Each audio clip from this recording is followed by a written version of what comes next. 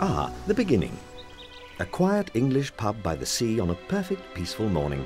The Admiral Benbow Inn looks out across the Bristol Channel. Jim Hawkins, 12 years old, all but runs it himself. His father's died, his mother's exhausted. Jim dreams of adventure, something to take him out of this dull workaday existence.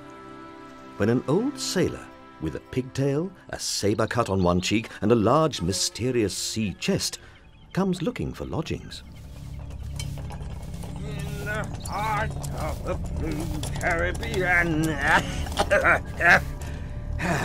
Good morning, sir. Uh, this be a handy cove. Much company, my young mate? Company, sir? No. No, sir. Ah, well then. This be the berth for me, I reckon. Come here, boy. Closer! You see this? Y- yes, sir. There's one of these every month for you. If you keep a weather eye open for a seafaring man with one leg. One leg, you hear me? One leg. I'll, I'll keep a lookout. sir? You call me Captain, hmm? This way, Captain. Now, lend a hand with this here chest. I'm a plain man.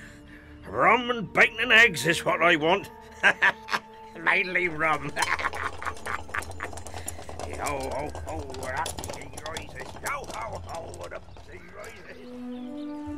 So the mysterious sailor comes to stay, and Jim keeps his weather eye open.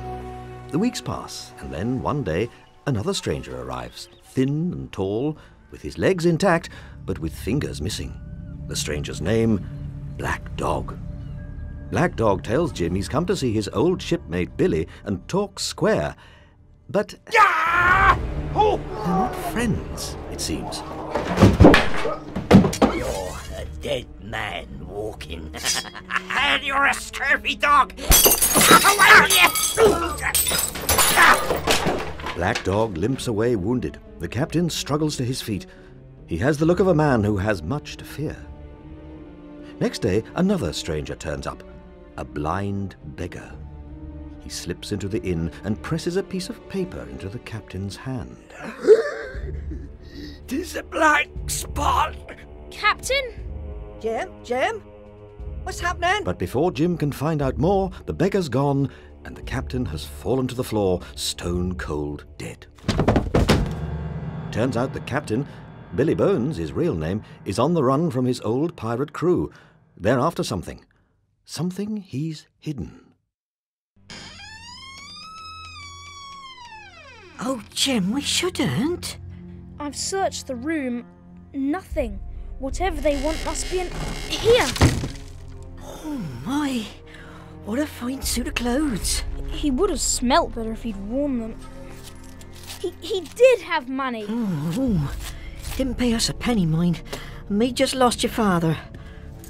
Take the whole lot. Let's be going. No, one of my dues are not a farthing over.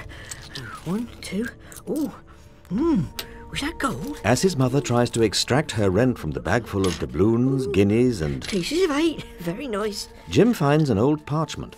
But before he can look at it, the pirates attack.